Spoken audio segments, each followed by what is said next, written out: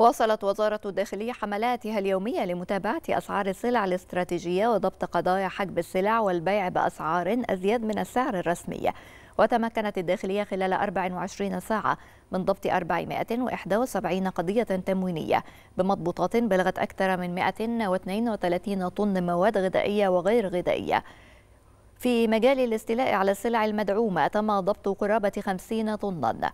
وفي مجال عدم الإعلان عن الأسعار بقصد البيع بأزيد من السعر الرسمي للسلع الغذائية تم ضبط قرابة 83 طنا.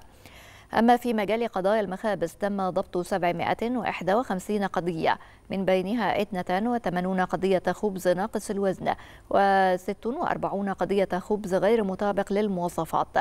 وفي مجال ضبط مخالفات التلاعب بمنظومة توريد وتداول القمح المحلي تم ضبط 13 قضية بمضبوطات بلغت قرابة 75 طن أقماح محلية.